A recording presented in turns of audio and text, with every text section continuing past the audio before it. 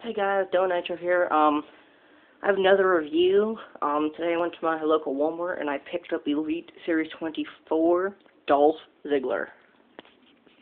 The Ziggler figure is really well done. Um, I got the World Heavyweight Championship and the Stealing the Show t-shirt.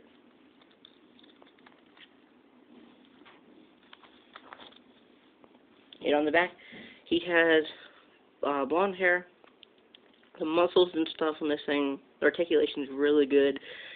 He has DZ on his trunks and they're like a, a salmon red color-ish. I don't know. This is my time. Basic black knee pads and a white boots with the black straps on. Like again, he he came with the the World Heavyweight Championship and the Stealing His Show. Uh, it was a breakaway T-shirt, whatever it is. I don't know.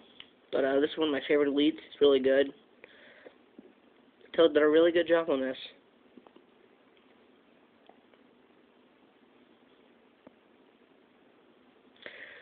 Well, hope you enjoyed it. That was my Elite Series 24 Dolph Ziggler review.